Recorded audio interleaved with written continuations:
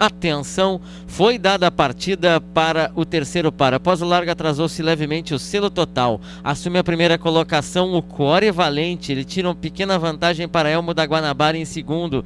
A terceira posição é do Joe Walker. Bem aberto em quarto vai o Tordilho Dirk. Quinta posição do The Best Mount.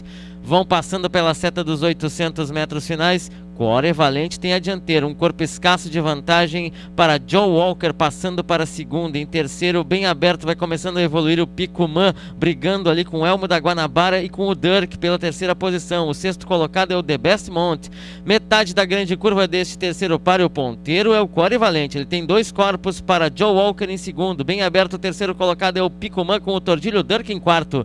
Terminam o contorno da grande curva, entram pela reta final. Estão a 400 metros do vencedor desse terceiro páreo. Procurou aqui o externo da pista, o Core Valente. Ele tem a dianteira desde o pulo de partida. Dois corpos de vantagem para Joe Walker em segundo. Começa a evoluir pelo centro da pista o The Best Mount. Bem aberto, o Pico Mãe é o quarto. Altura dos últimos 200 metros. Core Valente tem a dianteira. É atacado pelo centro da pista pelo The Best Mount. Voa abaixo Jamigone. A, a 100 metros do espelho. Jamigone embaladaço. Assume a ponta. Tira um corpo de vantagem. Briga pelo segundo posto entre The Best Mount e Core Valente cruza o disco. O quarto colocado foi o Joe Walker. Na sequência, Dirk, Jack Jack, Picumã, Selo Total e Elmo da Guanabara. Passou em primeiro Jamigone, segundo posto ainda pertenceu ao Core Valente. Em terceiro, Jamigone, é, The Best Mount, 165. Quarto posto, Joe Walker.